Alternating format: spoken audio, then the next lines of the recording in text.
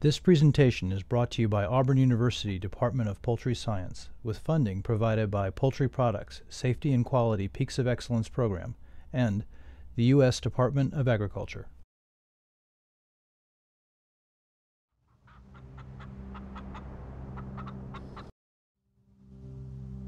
In a hen, an ovary and an oviduct make up the reproductive system that creates an egg.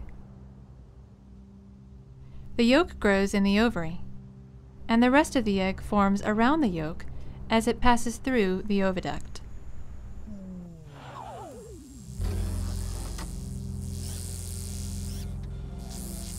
Most females have two ovaries, but birds are unusual and have only one.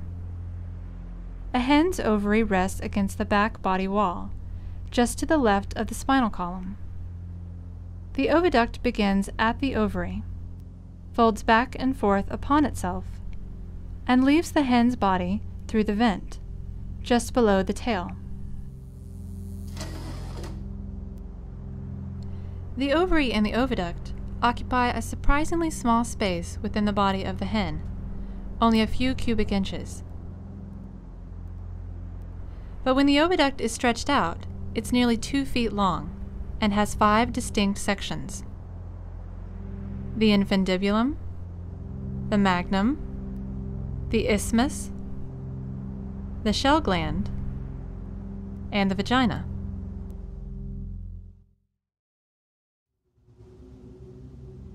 When a hen is actively laying, nutrients from the food she eats are converted into the building blocks of egg yolk. These building blocks, one third protein, one third fat, and one third water, are then carried by the bloodstream from the liver to the ovary. In the ovary, tiny tissue bags called follicles fill with yolk and grow. The largest follicle on the ovary will release the yolk of the egg the hen will lay tomorrow while the next largest will produce the next day's yolk, and the next largest will yield the next day's yolk, and so on. In one to two weeks, a follicle grows from less than 1 millimeter in diameter to the mature size of 25 millimeters. When a yolk matures, the follicle ruptures along a line relatively free from blood vessels, the stigma, and the yolk is released.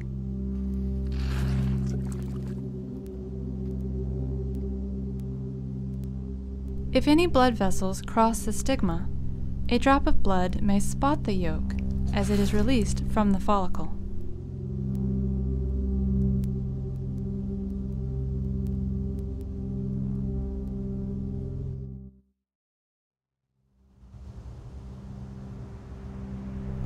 Called the infundibulum, the funnel-shaped upper end of the oviduct envelops the ovary and catches the most mature follicle as it reaches maturation and ovulates. Then the yolk embarks on a 24 hour journey down the oviduct.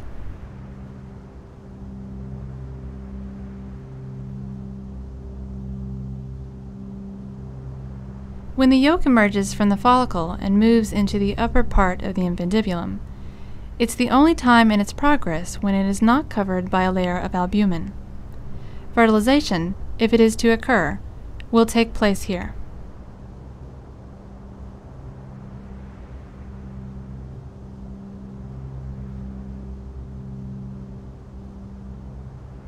Some bacterial pathogens, such as Salmonella enteritidis, are able to colonize the reproductive tracts of infected hens.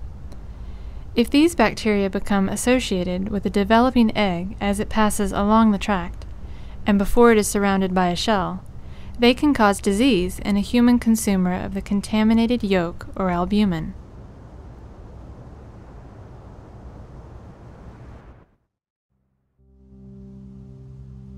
The yolk spends about 15 minutes in the infundibulum before it passes into the magnum. In the magnum, over a period of about three hours, it will be covered by a dense, shock-absorbing layer of albumin, or egg white. As the albumin forms around the yolk, spiral ridges which run the length of the magnum cause the yolk to spin like a bullet in a rifle barrel. This spinning twists the protein fibers in the albumin just in front of and just behind the yolk, and makes two pigtail-like structures called the chalaza. The chalaza keep the yolk suspended in the center of the albumin and ultimately prevent it from moving around inside the egg.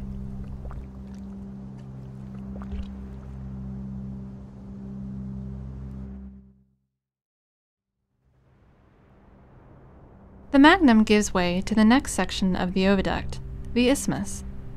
Here, the shell membranes are deposited. These thin layers of protein wrap loosely around the albumin covering the yolk. It is as though the yolk and its layer of albumin are a blob of jello wrapped with two sheets of cellophane. The process does not result in a smooth egg-shaped structure. In fact, an egg leaving the isthmus probably looks more like a prune than a plum.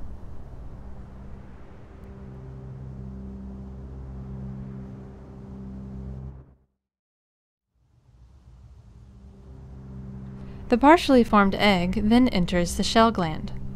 Here, over the next 20 hours, the shell will form. First, a thin albumin is secreted.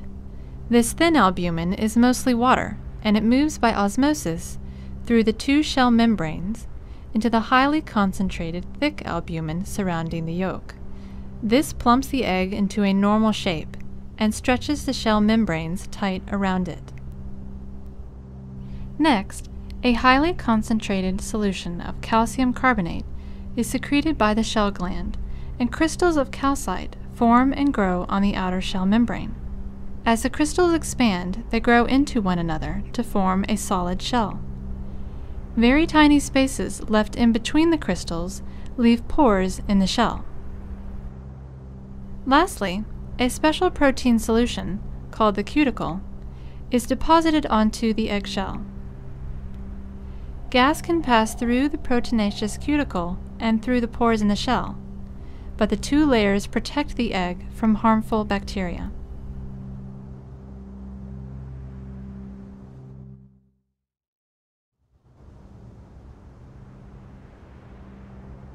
Finally, in a process called oviposition, the egg flips end over end. This occurs through contractions of the uterus, synchronized with relaxation of the muscular vagina, and pushes the egg out of the hen's body.